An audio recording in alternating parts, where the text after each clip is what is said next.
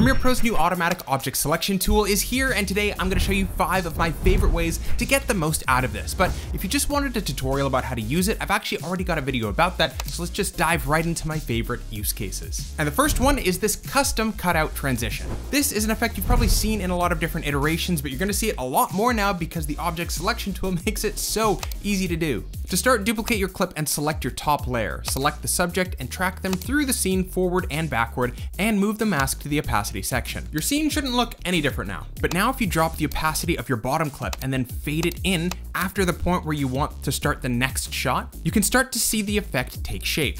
Now overlap this shot with the scene that came before it, with your subject and the background shot both above the previous clip.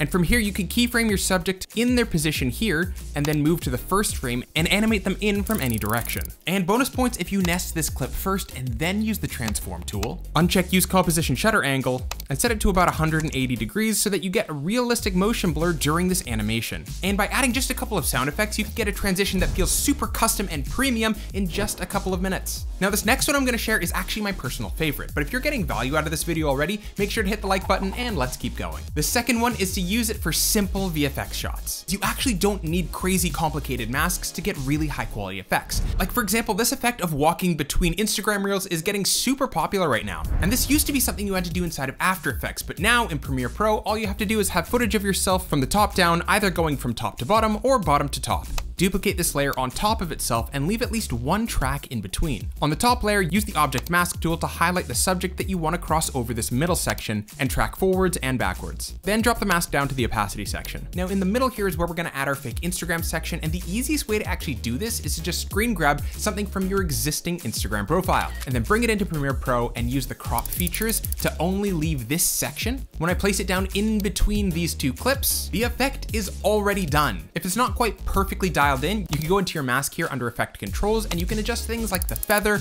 or even the offset to really dial it in. Plus bonus points if you can add any text in your Instagram section here that act as an Easter egg or further the story of your video. Next up is MrBeast style red green highlights. This one is something that I didn't expect to be as useful as it actually is. Quickly highlighting that something is either good or bad. MrBeast does this a lot by highlighting a contestant and either coloring them red or green for a few frames to indicate that they made a good or a bad decision. This helps to increase the overall visual comprehension of your video. And it doesn't have to be for like a complicated game show either. This also works for a simple talking head video or skit. To do this, just cut out the section of your clip that you want this effect to happen for, 7 to 15 frames-ish. Then with the object selection tool, highlight your subject and track forwards and backwards. And then instead of moving your mask to the opacity section, leave it and just go into your Lumetri colors panel. Go to your color wheel section and move it to whatever color you want your subject to be highlighted. And without having to move or adjust the mask, your Lumetri color adjustments will automatically get applied to your mask. Next, duplicate this section of your clip on top of itself and delete the mask from the bottom layer and then keyframe the opacity of the top clip to go from 0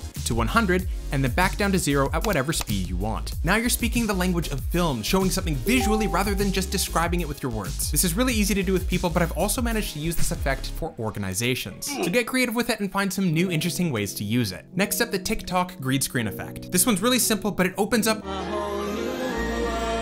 once you start to use it. The main problem is that TikTok and Instagram's green screen features have a lot of restrictions that make them kind of finicky and difficult to use sometimes. But if you just want to cut out your subject like we've done for every other one of our tips so far, and then just drag the mask to the opacity section, now you can place B-roll of whatever it is that they're talking about behind them, and this basically just recreates the TikTok green screen effect, but with the added benefit of being able to edit anything after the fact. And it's not just for vertical short forms either, content creators like Nakey Jakey have used this exact style, only with a green screen, and this now basically allows you to recreate that exact exact style way faster. But here's a question, what happens when you wanna add multiple masks on top of each other? Well, it's actually really easy. If you wanted to add more masks, you can either click on new sections, but if you wanted to add different kinds of masks, either the ellipse or the square or the pen masking tool, you can do that by just clicking and holding down the object mask button and selecting from the drop down here. All of these can be added and moved around and then tracked in the same way as before. They'll show up as a new unique mask that needs to be uniquely tracked, but you can even highlight them all together by holding control or command and clicking on multiple of them and drag all of them to new locations or make quick adjustments. One example of how I use this a lot is if I'm masking a subject that has a table in front of them, which is staying in the exact same position of frame the entire time and the camera isn't moving. Then I don't even have to track this mask, I'll just use the pen tool and add this selection here, and when I drag both of these to the opacity section, they both work together to mask out exactly what I want. And my quick suggestion is that if you wanted to invert some of these masks to get them to cut out something rather to include something, if you're using multiple masks, don't use the